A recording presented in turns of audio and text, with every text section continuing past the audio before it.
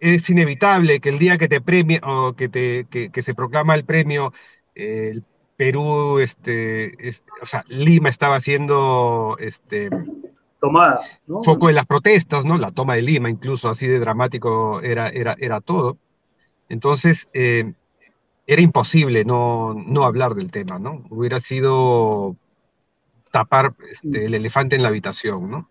Claro, claro. Y una cosa que sí pasa, que sí sentí, no sé si tú sentiste, Renato, cuando viste la ceremonia, es que sí hay una especie de, una preocupación muy grande en el extranjero por lo que pasa aquí en el Perú.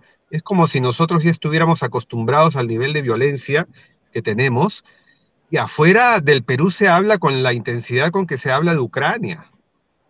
Y no nos queremos dar cuenta de eso, o sea, hemos normalizado demasiado lo que está pasando acá.